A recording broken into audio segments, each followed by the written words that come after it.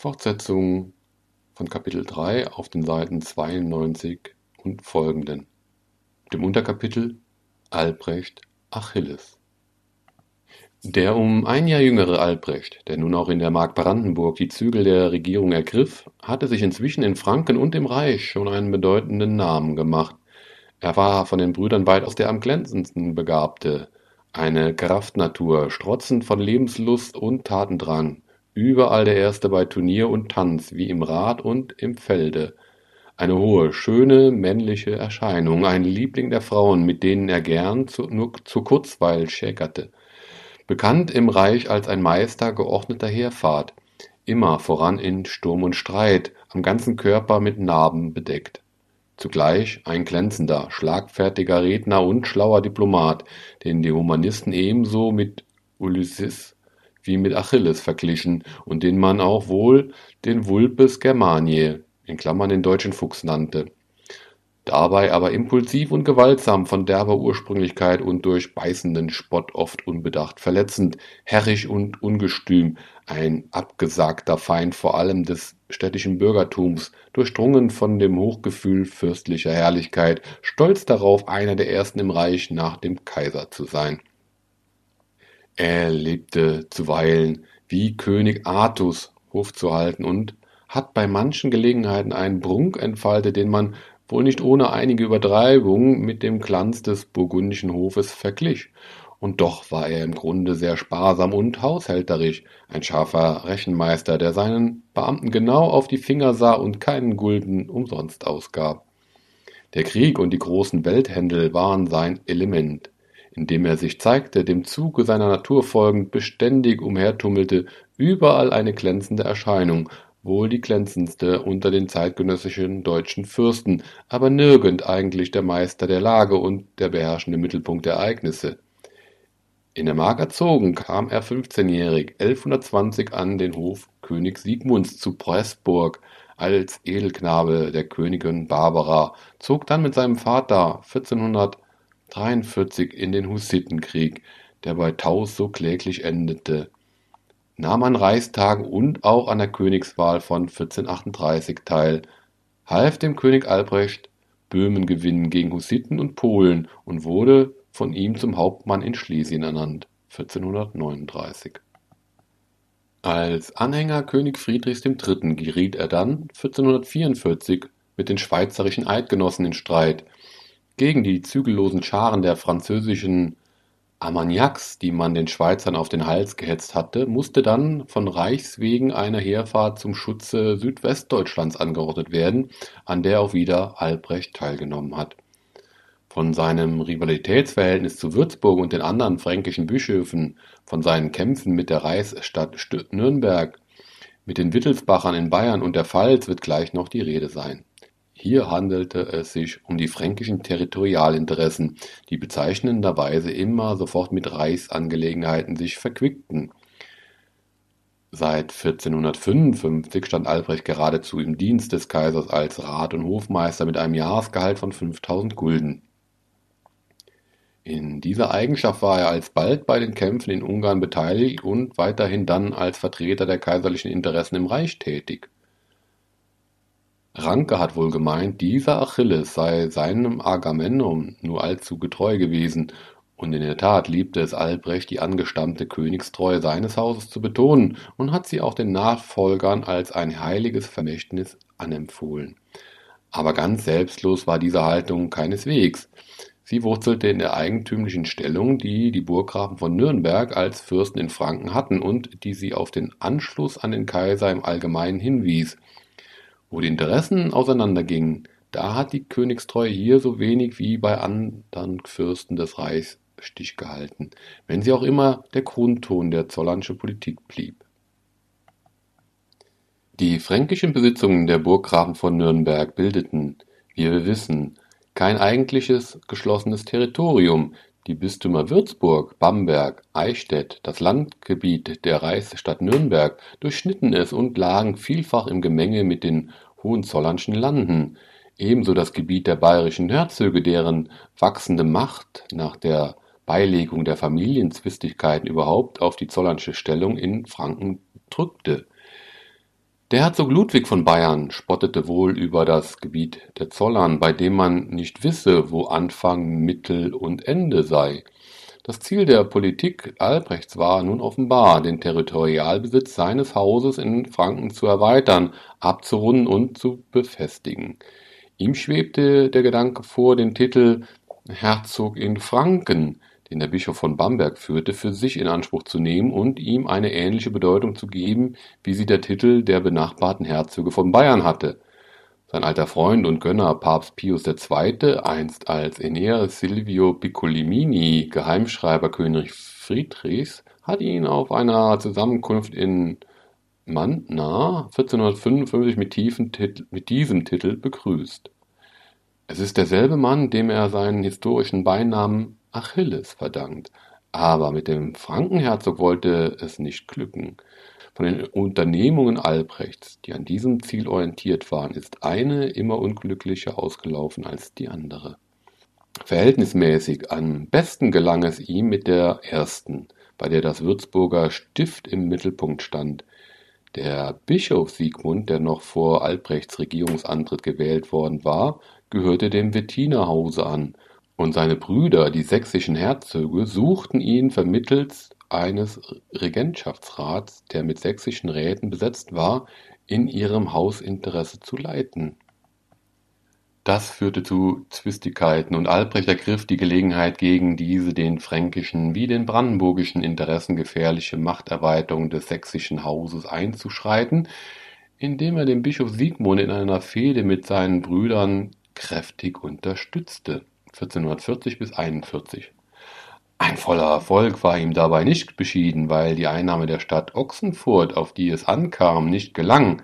Immerhin aber setzte er es durch, dass die sächsischen Räte aus dem Rate des Bischofs von Würzburg entfernt wurden und dass er eine Geldentschädigung von 20.000 Gulden und als Pfand dafür so, sowie für andere Schulden des Stifts die Stadt Kitzingen erhielt, die die militärische Stellung der Zollern gegen Würzburg sehr wesentlich verbesserte.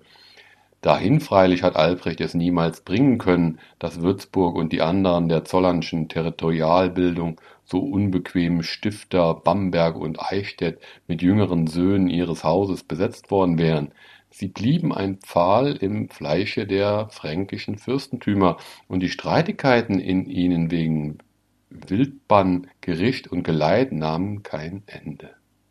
Ein noch unbequemerer Nachbar war die Reichsstadt Nürnberg, die sich bereits zu einem ansehnlichen Stadtstaat ausgeweitet hatte und mit ihren 500 Dörfern, Schlössern und kleinen Städten fast schon ein kompaktes Territorium bildete, das sich zwischen die beiden Hälften des zollernschen Besitzes schob.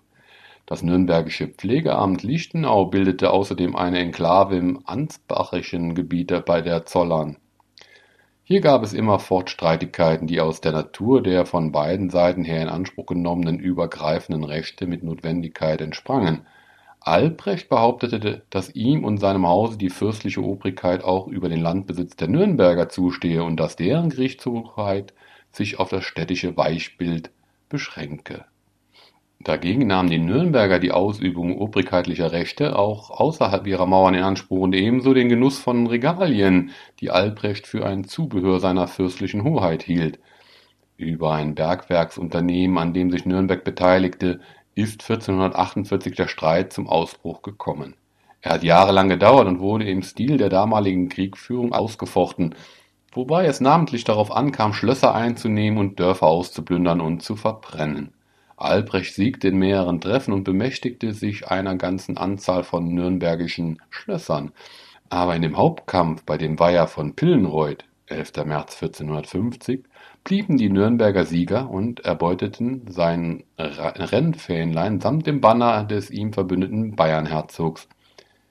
In der Bamberger Richtung, die darauf stattfand, wurde ausgemacht, dass die Streitwagen zur schiedsgerichtlichen Entscheidung des Kaisers gestellt werden sollten aber ehe noch diese erging, kam es nach langen Verhandlungen unter Vermittlung Bayerns zu dem Vergleich von Lauf 1453, in dem die Nürnberger zwar sich zu einer Geldzahlung verstanden, im Übrigen aber ihr Gebiet und ihre Hoheitsrechte ungeschmälert behaupteten. Auch spätere Reibungen haben dies Resultat nicht mehr verschoben. Die städtische Macht hat sich auf diesem Schauplatz der fürstlichen als gewachsen erwiesen. Bald nach diesem Misserfolg versuchte es Albrecht mit einem anderen Mittel, das vor allem darauf berechnet war, seine fürstliche Stellung in Franken zu stärken seine Räte hatten aus der Urkunde, die das Zollernsche Haus über das kaiserliche Landgericht zu Nürnberg besaß, herausgelesen, dass es sich hier um ein Gericht handle, das nicht nur an des Kaisers Stadt gehalten werde, sondern auch zuständig über allen Gerichten des Reiches sei, also eine Art von oberstem Reichsgericht darstelle Vermittels dieser Ausdehnung der Befugnisse des kaiserlichen Landgerichts wollte nun Albrecht gegenüber allen anderen Gewalten in Franken und ringsherum eine obrigkeitliche Autorität im Sinne eines Herzogs von Franken in Anspruch nehmen, die nicht ohne politische Folgen bleiben konnte. Ein kaiserliches Privilegium vom 4. September 1454 konnte zu seinen Gunsten ausgelegt werden im Jahre 1457 wies der Kaiser alle, die sich durch die Ansprüche des Nürnberger Landgerichts beschwert fühlten, an, ihre Beschwerden der kaiserlichen Vermittlung anheimzustellen.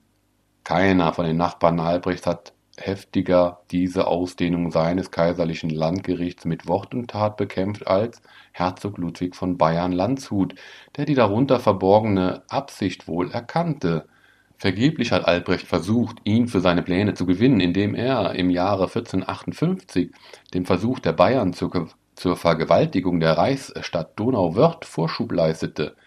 Als er aber in den Verhandlungen mit ihm wegen des Landgerichts trotzdem nicht weiterkam, hat er ein Jahr darauf, 1459, kein Bedenken getragen, bei Kaiser und Reich nun gerade umgekehrt als Anwalt der Reichsstadt gegen die gewaltsamen Übergriffe des Bayernherzogs aufzutreten die Wittelsbacher trieben damals, sehr im Gegensatz zu den vorhergegangenen Jahrzehnten, eine einmütige Hauspolitik. Auf der Seite des Herzogs Ludwig von Landshut stand auch Herzog Albrecht von München und der Pfalzgraf Friedrich der Siegreiche, der ja in der Oberpfalz auch ein Nachbar des Burggrafen war. Im Jahre 1460 kam es mit diesem und anderen Fürsten zum offenen Krieg darüber, und dieser nahm für Albrecht eine ungünstige Wendung. Die Bedingungen des Stillstandes von Roth (Juli 1460) waren so demütigend, dass Albrecht sie nicht selbst unterschrieb, sondern dies seinem Geheimschreiber überließ. Er war gewillt, den Krieg bei der nächsten Gelegenheit wieder zu erneuern, aber seine Hoffnung auf besseren Erfolg wurde getäuscht. Die bayerische Partei war in der Übermacht. Auch der König von Böhmen, Georg Podiebrad, stand auf bayerischer Seite er selbst hatte in der Hauptsache nur Württemberg zum Bundesgenossen. Am 19. Juli 1462 ist er in der Schlacht bei Gingen unterlegen gegen 17 Fürsten und einen König, wie er später öfter mit Nachdruck hervorgehoben hat er musste sich nun 1463 zu dem endgültigen Prager Frieden bequemen, den der König von Böhmen vermittelte und in dem er zwar seine Schlösser und Länder wieder erhielt, aber den Anspruch auf die Ausdehnung der Befugnisse seines kaiserlichen Landgerichts gegenüber den Wittelsbachern und ihren Verbündeten fallen lassen musste.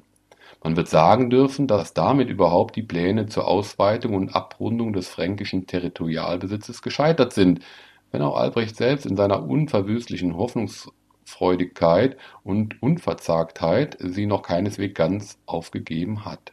Der territoriale, dynastische Gegensatz gegen das Haus Wittelsbach mit, Anhang, mit seinem Anhang im Reich Wittelsbachische Fürsten saßen damals auch auf den Bischofsstühlen von Straßburg, Köln, Münster, seit 1464 auch von Magdeburg, ist es vornehmlich gewesen, der Albrecht auf ein gutes Verhältnis zum Kaiser hinwies. Mit Österreich, Württemberg und Baden im Bunde glaubte er allein den Wittelsbachern das Gegengewicht halten zu können. Die Wittelsbacher standen an der Spitze der reichsständigen Opposition. Albrecht fühlte sich und bezeichnete sich gern als Anhänger des Kaisers und gegen die bayerischen Gegner. Anführungszeichen Römisch Reich und Anführungszeichen Bayerland war die Losung der beiden feindlichen Parteien in der Schlacht bei Gingen gewesen. Aber diese kaisertreue Haltung wurde dann doch wieder beeinträchtigt durch politische Berechnungen, die ebenfalls in der territorialfürstlichen Stellung in Franken wurzelten. Seit Jahren war Georg Podiebrad erst als Gouvernator für König Ladislaus Postumus, den Sohn König Albrechts, dann seit 1458 selbst als König von Böhmen gewissermaßen als der Schiedsrichter in allen Händeln, an denen Albrecht beteiligt war, aufgetreten. Seine Teilnahme für die Wittelsbacher war bei dem letzten Streit ausschlaggebend gewesen. Mit dieser Macht mussten die Hohenzollern sich verständigen, um der wittelsbachischen Partei nicht vollends zu unterliegen. Und so sehen wir seit 1463 Albrecht im Bündnis mit dem Böhmenkönig, dessen Sohn damals mit einer seiner Töchter verlobt wurde. An dieser Familienverbindung hat Albrecht auch festgehalten, als das Verhältnis des Böhmenkönigs zu Kaiser und Papst immer schlechter wurde. Er ist deswegen sogar in die kirchliche Exkommunikation verfallen, wie der Böhmenkönig selbst.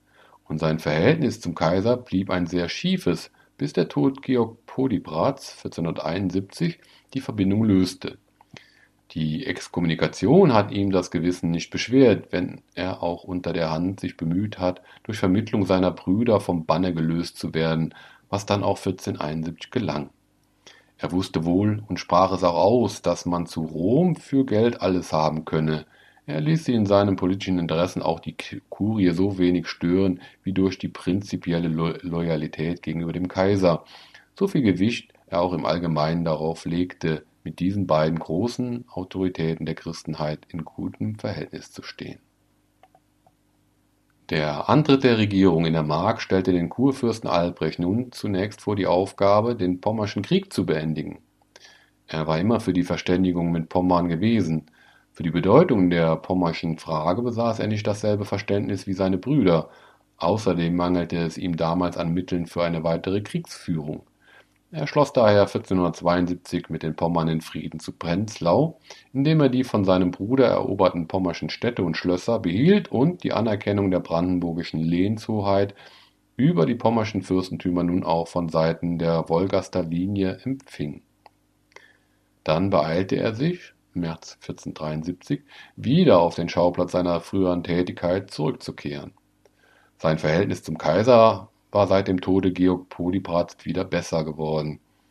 Im Jahre 1474 führte Albrecht als Feldhauptmann des Kaisers am Niederrhein jenen durch politische Erwägungen gelähmten Krieg gegen Karl den Kühnen von Burgund, bei dem es dem Kaiser im Grunde weniger darauf ankam, Köln und das Reichsgebiet zu schützen und den Anmaßungen des Burgunderherzogs, der sich als ein Souverän zwischen Frankreich und Deutschland aufgestellt hatte, entgegenzutreten, als vielmehr darauf, die Hand der burgundischen Erbtochter für seinen Sohn Maximilian zu gewinnen, ein Erfolg, der dann bekanntlich auch erreicht worden ist. Für Albrecht hatte diese wieder angeknüpfte engere Verbindung mit dem Kaiser die Folge, dass sich der Kaiser in der pommerschen Frage auf die Seite Brandenburgs stellte, was freilich für die bevorstehenden Kämpfe eine wenig wirksame Unterstützung bedeutete. Die Pommersche Frage verflicht sich bei ihrem Wiederauftauchen mit dem Klogauer Erbfolgestreit, bei dem Albrecht auch mit der damals bedeutendsten Macht des Ostens, dem Ungarnkönig Matthias Corvinus, dem Sohn des berühmten magyarischen Gubernators Hyndjadianos, in eine gefährliche Verwicklung geriet. Die Veranlassung zum Streit war ein reines Hausinteresse Albrechts Tochter Barbara war 1473 mit dem alten Piastenherzog Heinrich von Klogau und Krossen vermählt worden, und als dieser 1476 starb, nahm Albrecht die Fürstentümer für seine Tochter in Anspruch, während ein piastischer Vetter des verstorbenen Herzogs, Hans von Sagan, seinerseits Erbansprüche erhob und die Lande auch gleich in Besitz nahm. Um die Ansprüche seiner Tochter besser zu wahren, vermählte Albrecht sie damals an den jagellonischen König Wladislaw von Böhmen, der mit Matthias Corvinus wegen der böhmischen Nebenländer in Streit lag, auf dessen Seite aber auch der Kaiser und der Herzog von Burgund standen. Dadurch geriet Albrecht in Gegensatz zu dem Ungarkönig, der nun die Sache des Herzogs von Sagan unterstützte da dieser tatsächlich die Erbschaft in Besitz genommen hatte und behielt, so hat übrigens König Wladislaw sich geweigert, die Ehe mit Albrechts Tochter Barbara zu vollziehen, so dass Albrecht von dieser Seite keine Unterstützung in dem Kampf erhalten hat. Im Einverständnis mit Hans von Sagan waren 1476 auch die Pommern gegen die von Albrecht 1472 gewonnenen Schlösser und Städte vorgegangen eine besonders gefährliche Wendung erhielt der Streit, als 1477 der Herzog von Burgund, Karl der Kühne, in der Schlacht bei Nancy gegen die Schweizer gefallen war.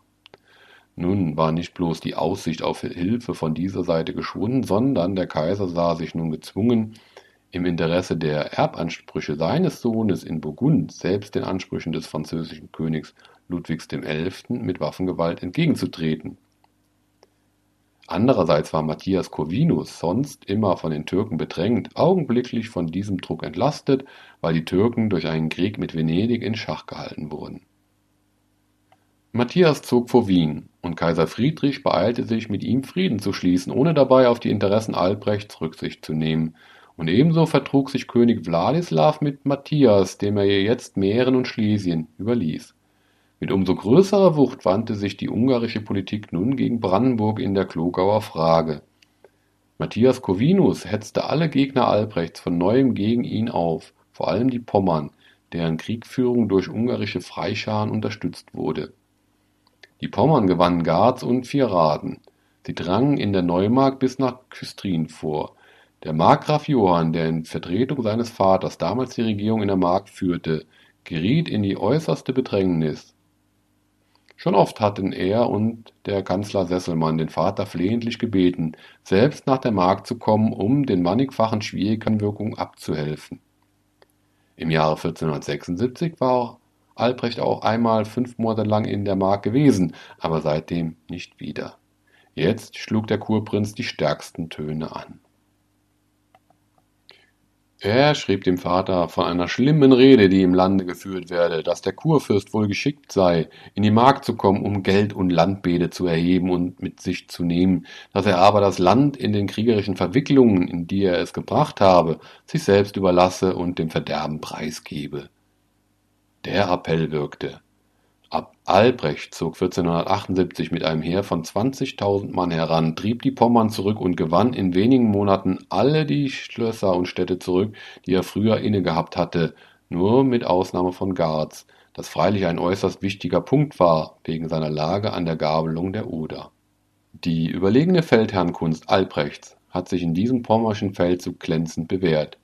Jetzt trat aber auch Matthias Corvinus selbst offen und unmittelbar in den Krieg ein, am 12. August 1478, und trotz des mannhaften Widerstandes, den der Markgraf Johann leistete, drangen nun bald die Ungarn bis nach Zossen und Beskow vor.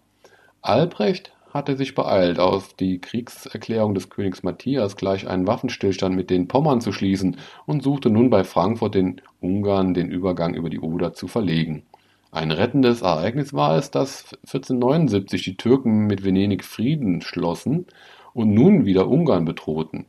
Das machte den König Matthias zum Frieden mit Brandenburg geneigt.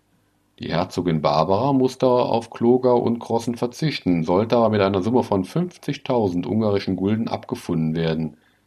So am 10. August 1479. In dem zugleich geschlossenen Frieden mit Pommern Prenzlau (1479) behielt Albrecht die Städte und Schlösser, die er im Besitz hatte, also im Wesentlichen das früher gewonnene und einige neue Eroberungen dazu, aber ohne das wichtige Garz. Die brandenburgische Lehenshoheit wurde von neuem anerkannt die klogauische Angelegenheit führte noch zu Weiterungen, weil die ausgedungene Summe von 50.000 Gulden nicht gezahlt werden konnte. In Verhandlungen, die von König Matthias über den Kopf des alten Kurfürsten hinweg mit seinem Statthalter in der Mark, dem Markgrafen Hans, geführt worden sind, kam es 1482 zu dem Vertrage von Kamenz, durch den als Pfand für diese Summe die Städte Grossen, Züllichan, Bobersberg, Sommerfeld an Brandenburg gekommen sind Kurfürst Albrecht war mit dieser Lösung der Frage wenig zufrieden. Er ließ seinem Sohne sagen, zum Verhandeln sei er noch zu jung und unerfahren. Es wäre besser gewesen, wenn er, statt diesen Vertrag zu schließen, auf die Schweinejagd gegangen wäre. Er hat aber schließlich den Vertrag doch bestätigt, und man wird sagen müssen, dass es nach Lage der Dinge doch wohl ein nicht unbefriedigender Abschluss dieser Angelegenheit gewesen ist. Jene Pfandobjekte sind nach dem Tode Barbaras zum dauernden Besitz des Hauses Brandenburg geworden, da die Berechtigten auf Einlösung des Pfandes Verzicht geleistet haben. Sie waren Lehen der böhmischen Krone und sind es geblieben bis zum Jahre 1742, wo Friedrich der Große diesen Lehensnexus ebenso wie den bezüglich der Herrschaften Cottbus und Peitz sowie der Lande Beskow und Storkow gelöst hat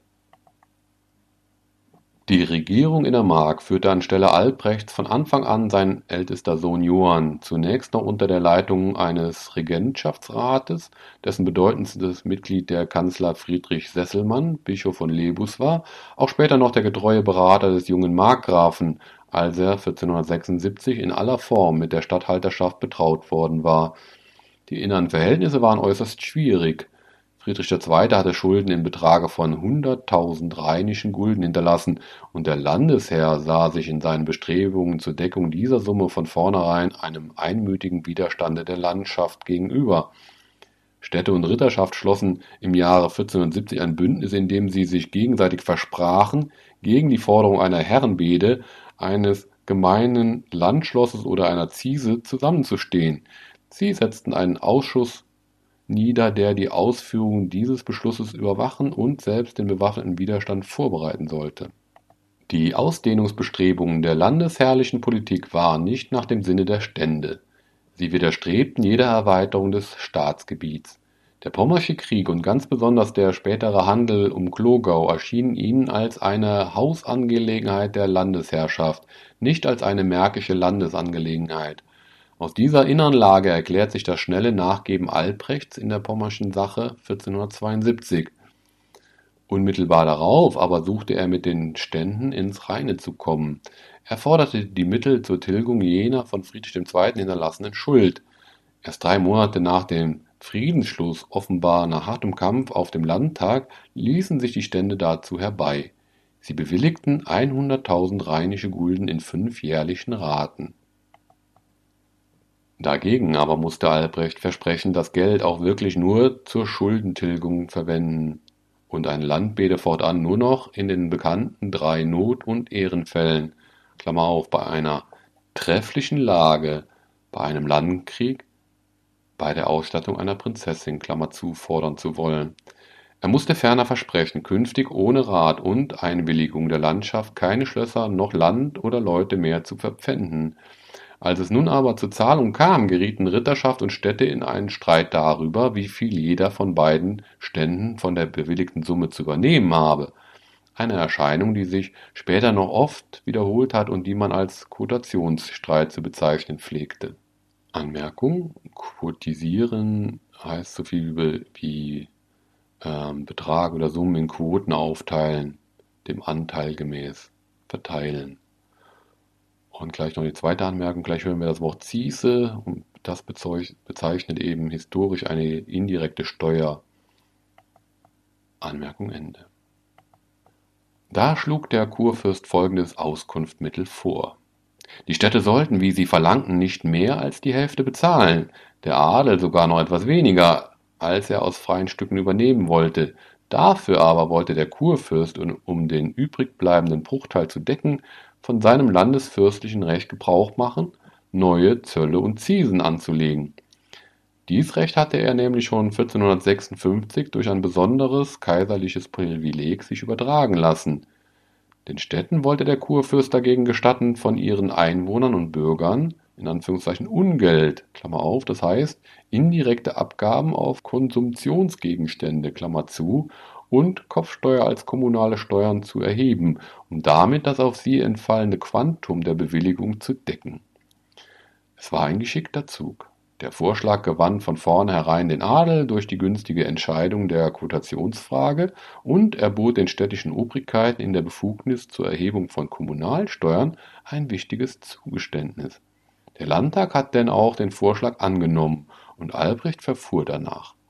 Als nun aber der Tonnenzoll, den er anlegte, ins Leben trat eine Abgabe auf alle Waren, die in Tonnen verfrachtet wurden, wie Bier, Heringe, Teer zu, fanden die Städte, dass ihr Handel dadurch geschädigt werde und weigerten sich, zunächst die in der Altmark und Prignitz, seine Zöllner aufzunehmen und den Zoll zu bezahlen. Der Kurfürst berief ein aus Mitgliedern der Stände gebildetes Gericht unter dem Vorsitz des Kanzlers und Bischofs von Lebus Friedrich Sesselmann, und dieses verurteilte die Städte zur Zahlung der Zölle. Aber die Städte blieben bei ihrem Widerstand. Sie stellten nun auch die Zahlung der Bede, die zur Schuldentilgung bewilligt worden war, ein, und der Adel folgte natürlich diesem Beispiel sofort. Ein allgemeiner Widerstand erhob sich im Lande. Während nun der Kurfürst Albrecht sich an den Hof des Kaisers begab, um von ihm das Urteil gegen die widerspenstigen Städte bestätigen zu lassen, geriet der Hof seines Sohnes, des Markgrafen Johann, in die äußerste Not. Der Kanzler Sesselmann, der eigentlich die Regentschaft führte, wusste nicht mehr Rat zu schaffen und bat den Kurfürsten um seinen Abschied. Im Mai 1473 kam Albrecht nach der Mark zurück. Er brachte die kaiserliche Bestätigung jenes Urteils mit, aber er vermochte den Widerstand der Städte nicht zu brechen. Es gelang ihm nur, den Kanzler zum Bleiben zu bewegen.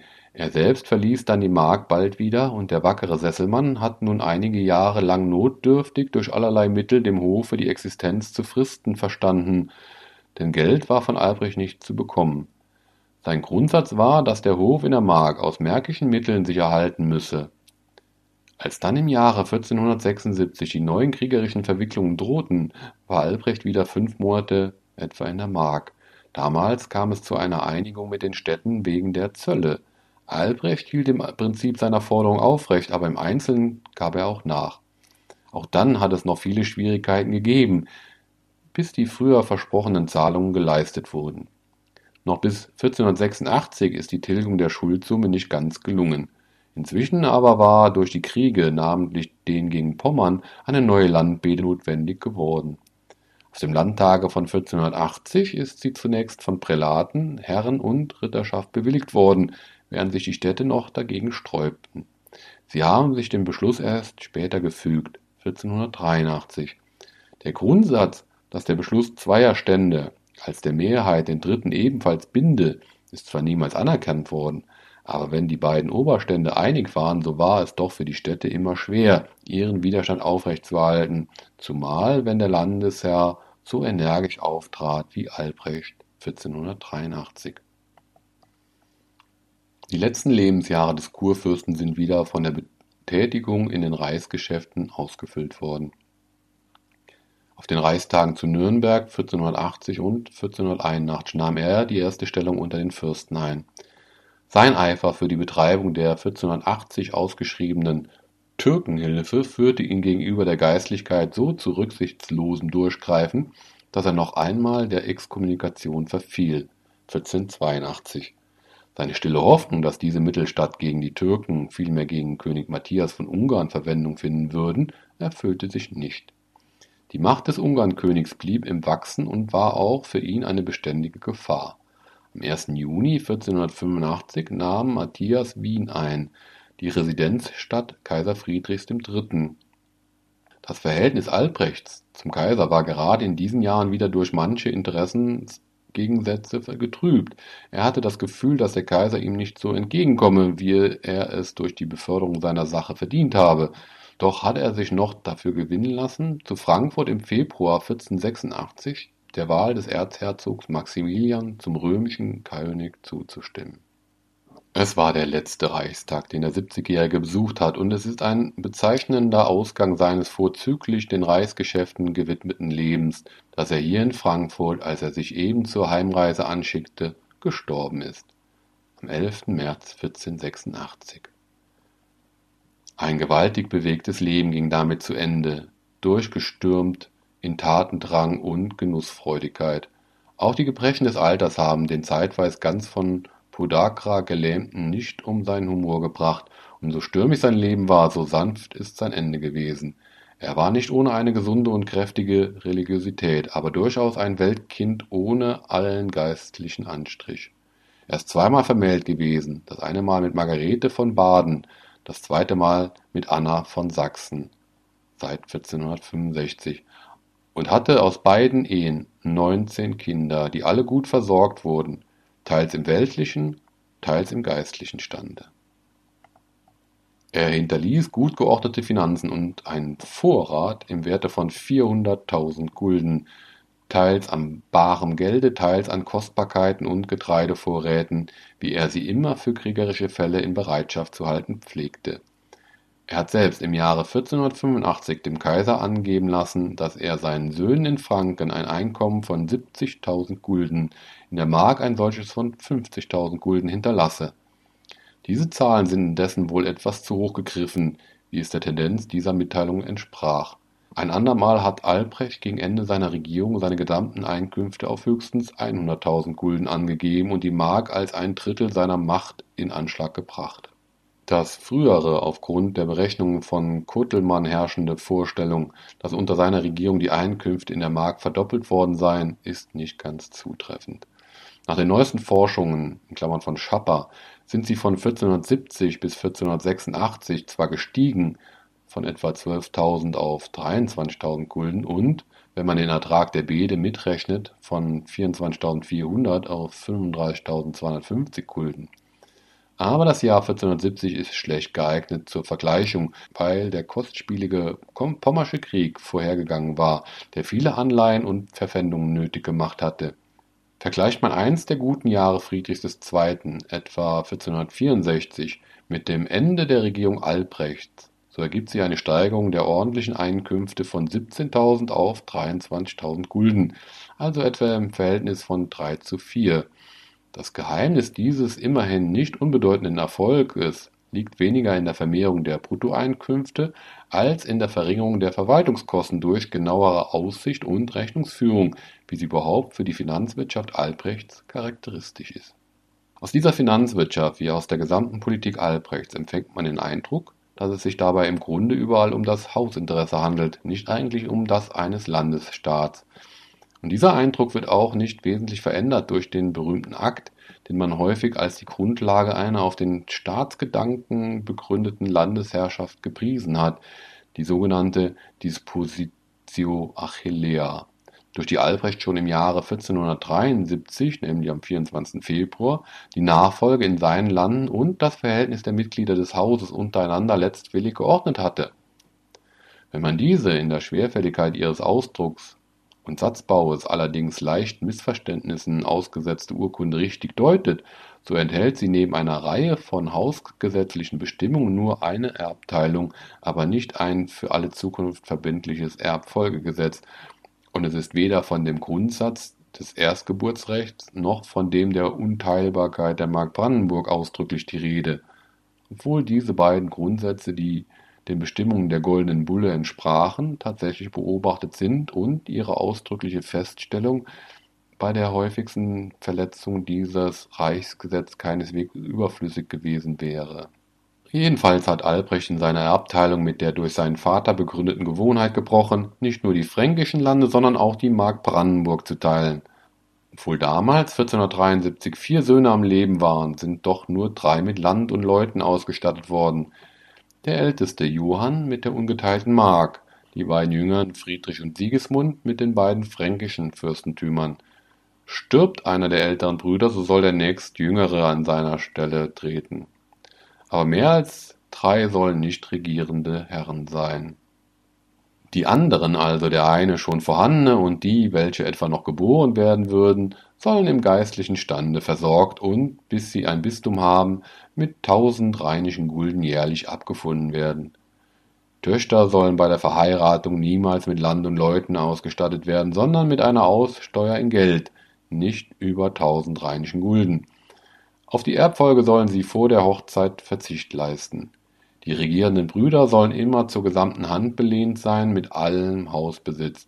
Sie sollen nichts von den ererbten Landen je veräußern. Dagegen soll jeder die Freiheit haben, mit dem, was er selbst hinzuerwirbt, nach seinem Gutdünken zu verfahren. In der Erbfolge soll der Grundsatz gelten, dass jeder Sohn den Vater beerbt, auch wenn dieser vor der Eröffnung der Erbschaft bereits gestorben ist. Klammer auf, das in der juristischen Terminologie sogenannte Repräsentationsrecht der Enkel, eine Neuerung gegenüber dem alten deutschen Recht. Klammer zu. Das alles sind hausgesetzliche Bestimmungen, die für die Zukunft überhaupt gelten sollen, während der Grundsatz der Unteilbarkeit der Mark und ihrer Vererbung nach dem Erstgeburtsrecht nur durch das tatsächliche Beispiel, das die Erbteilung gab, nicht aber durch eine ausdrückliche gesetzliche Bestimmung der Dispositio Achillea für die Zukunft vorbildlich und wirksam geworden ist. Den Testator leitete dabei, abgesehen von den Bestimmungen der Goldenen Bulle von 1356, die ja auch in dem Hohenzollernschen Hausen bisher nicht genau beobachtet worden war, hauptsächlich wohl die Überzeugung, dass die Einkünfte der Mark zu gering seien um bei Vornahme einer Teilung einem Kurfürsten die genügende Grundlage für seine Stellung zu gewähren. Er hat ja einmal die Mark als ein Drittel seiner Macht bezeichnet, darum konnten wohl die fränkischen Lande, aber nicht die Mark geteilt werden.